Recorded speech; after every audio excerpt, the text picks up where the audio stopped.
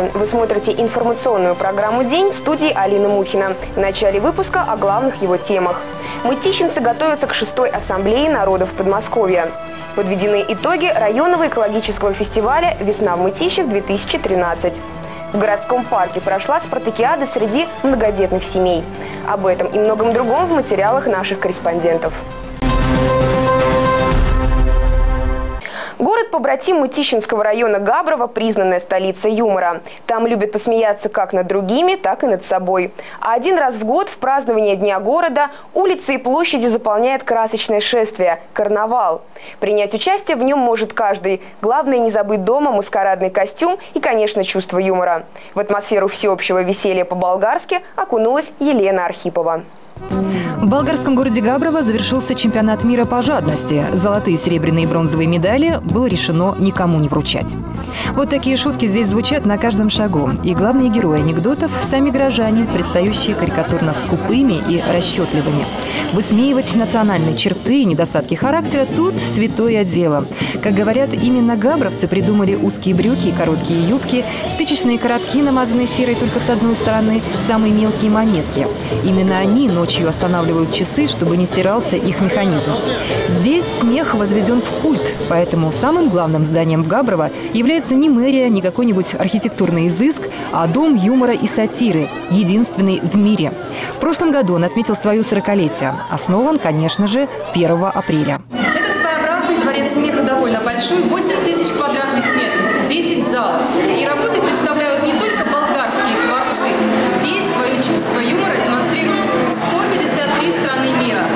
Дворец успешно объединяет черты музея оживленной галереи. Его еще называют «Лувром смеха», штаб-квартирой габровского юмора. Здесь собрана огромная коллекция карикатур, комиксов, скульптуры, фотографий, карнавальных масок и костюмов со всего света. Самый популярный экспонат – бесхвостый кот в самых различных интерпретациях. Именно он является символом города, опять же подчеркивающий пресловутую габровскую скупость. Ведь без хвоста кот быстрее заходит в дом, сохраняя тепло. Говорят, что если бросить сюда монетку, то этот кот обеспечит счастье на всю жизнь. Я, конечно же, этим воспользуюсь. Главный девиз Дома сатиры «Мир уцелел, потому что смеяться умел». Но если на нашей планете все-таки с юмором станет совсем туго, жителям Габрова есть куда эвакуироваться. На одноименный астероид, открытый 1 апреля 1976 года. Копия почетного свидетельства также представлена в музее. Но пока переезд габровцам не грозит. Они тщательно поддерживают статус столицы смеха. Так, ежегодной кульминацией праздничных торжеств ко Дню города становится карнавал юмора. Он проводится уже более 80 лет, но с каждым разом шутки становятся все острее, а костюмы интереснее. В карнавале принимают участие тысячи людей, пестрая колонна из ряженых музыкантов, разукрашенных повозок и платформ гордо движется по центральным улицам. При таком ярком, красочном шоу без карнавального костюма чувствуешь себя белой вороной. Но быть просто зрителем здесь абсолютно не хочется, поэтому и вперед к новым впечатлениям! Интересно, что здесь не боятся критиковать власть, смеяться над ее промахами. Специально для карнавала изготавливают гигантские куклы в разных образах, прототипами которых являются первые лица города и общины. Уж не знаю, какова была бы реакция на подобное у наших правителей, но сотрудники Габровского муниципалитета не только на это не обижаются, но и все как один активно участвуют в карнавале. Вот, например, приемная кмета главы города за час до начала шествия. Вместо секретаря нас встречает мамушка из унесенных ветром. А в кабинете руководителя идет тщательный процесс ее превращения в Скарлетт Ухару. Результат жителям понравился. Таню Христову встречали бурными овациями, которые не смолкали во время традиционного обряда карнавала – отрезания хвоста габровскому коту. Поговорить с кметом нам удалось уже к вечеру. Скарлетт Ухара любила говорить, я подумаю об этом завтра. Какие мысли завтра у вас будут? Самое важное, что всегда будет завтра, и оно будет лучше, чем вчера. А такой веселый карнавал надолго зарядил энергией всех нас.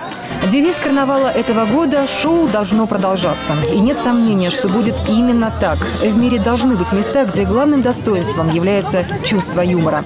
А так как столица смеха – Мытищинский город-побратим, то и нам скучно уж точно не будет. Елена Архипова специально для программы «День», Габрова, Болгария.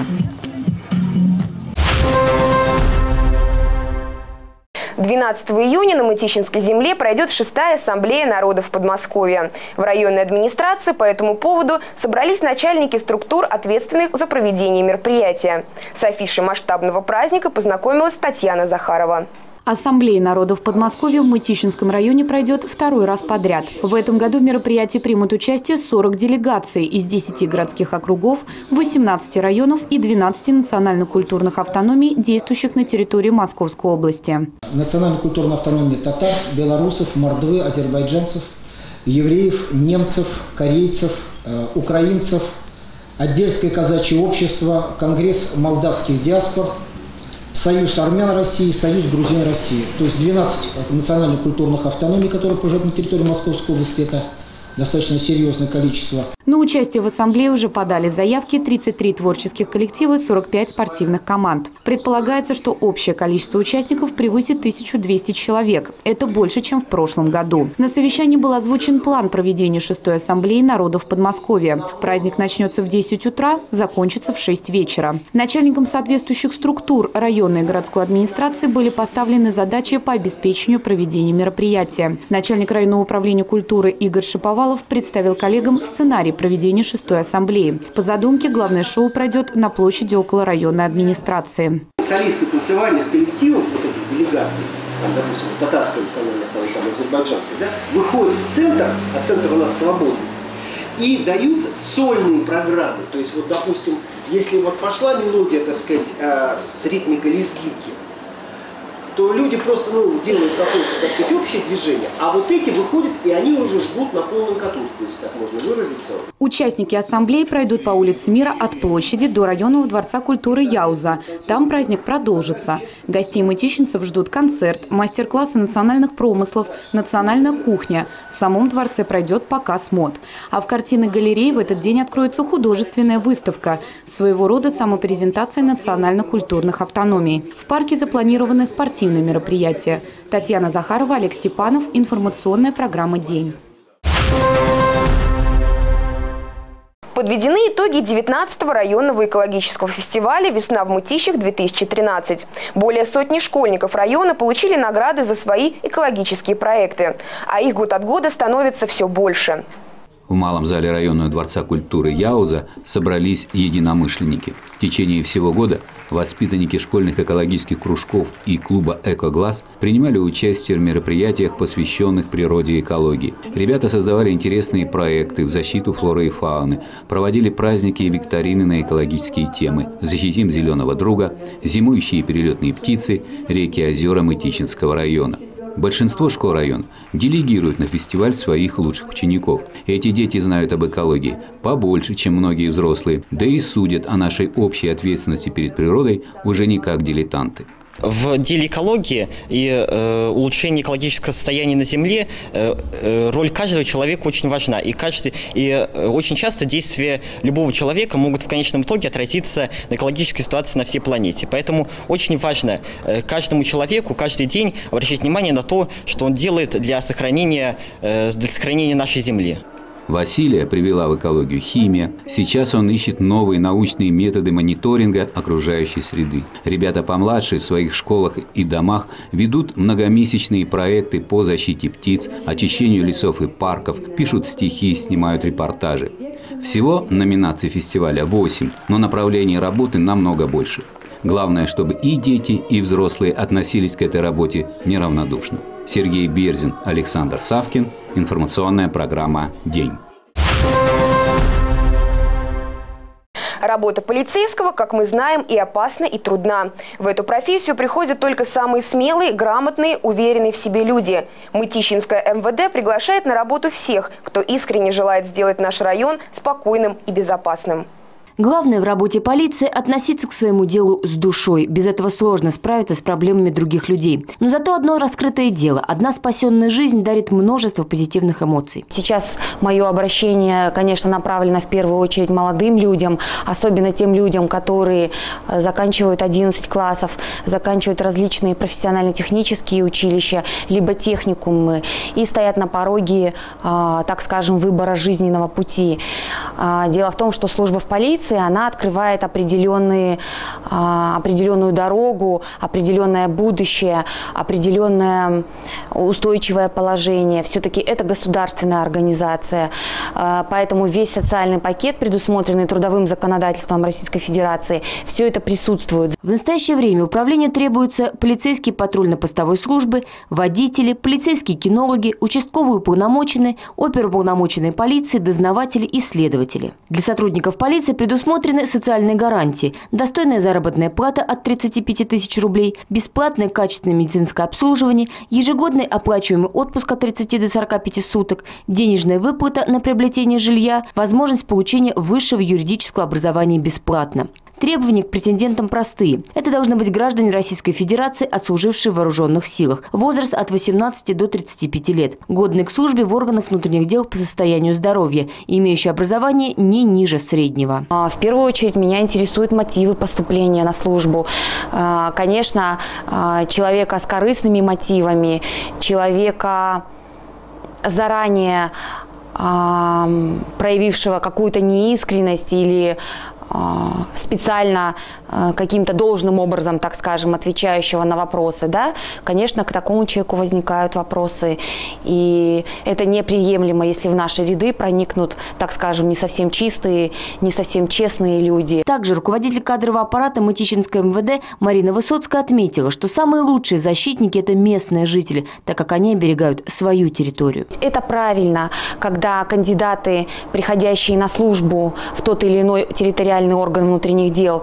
А, это правильно, когда они проживают на этой территории. Почему?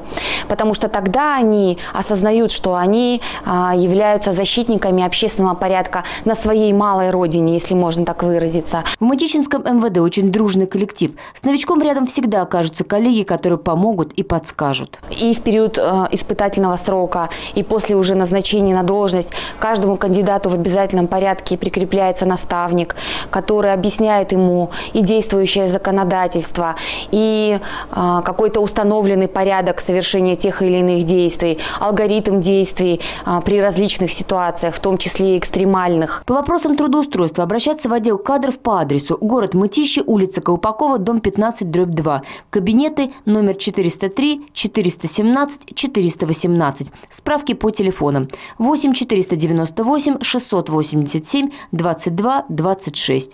8 495 586 35 61 и 8 495 583 35 69.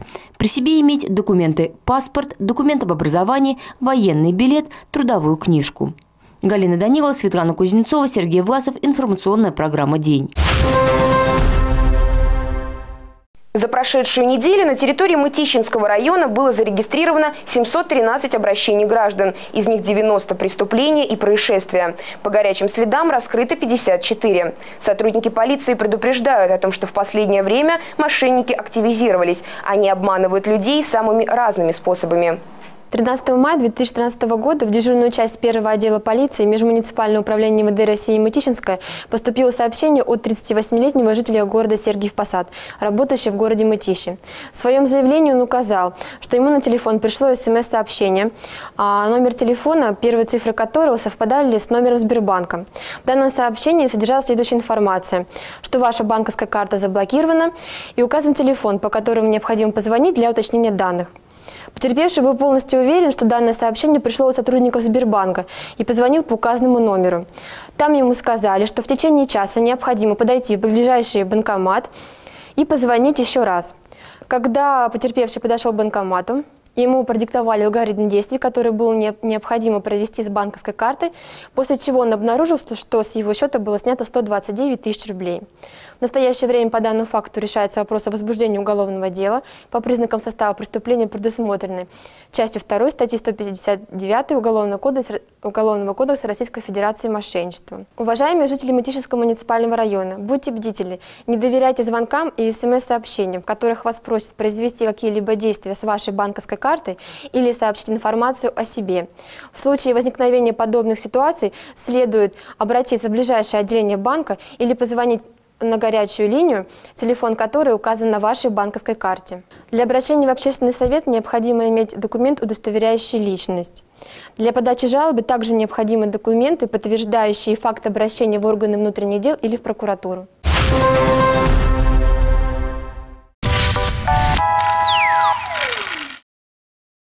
МЧС предупреждает. Вызовите пожарных.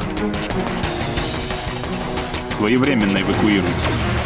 Вы можете погибнуть.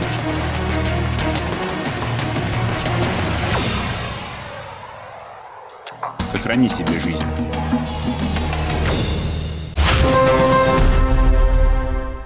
Каждый год в конце мая пять многодетных семей выходят на старт соревнований «Папа, мама, я. Дружная семья».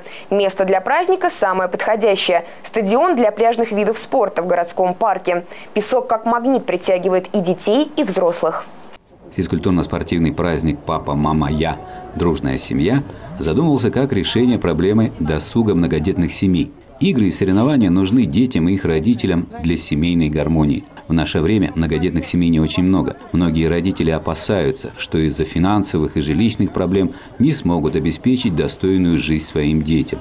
Но... Многодетные смотрят на этот вопрос гораздо проще, чем те, которые им задаются просто.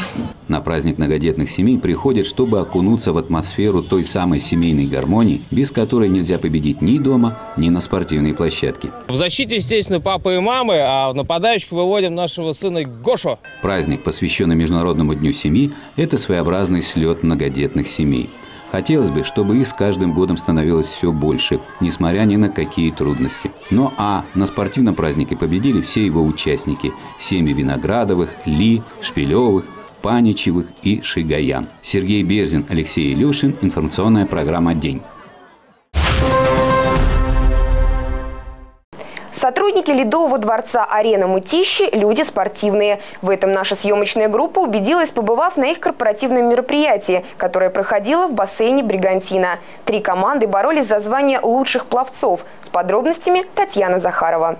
Любые спортивные соревнования для коллектива Ледового дворца «Арена Мытищи» – мероприятия семейные. В них принимают участие не только сотрудники, но и их родственники. Цель проведения спартакиад очевидна.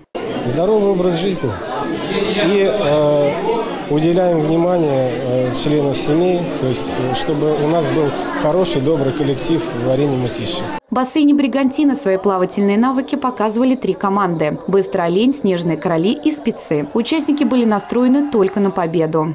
У команды боевой настрой, у нас хорошая команда.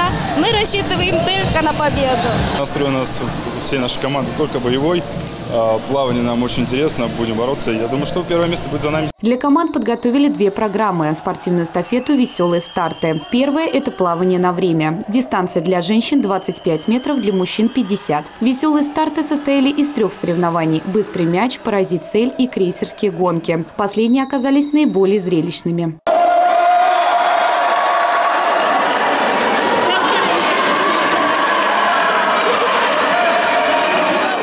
С общим командным счетом победил «Быстрый олень». Всех участников наградили грамотами и подарками. Татьяна Захарова, Александр Савкин. Информационная программа «День». На этом выпуск подошел к концу. Нас также можно смотреть в онлайн-эфире на сайте www.tvmy.ru. А я с вами прощаюсь. Всего доброго и до встречи.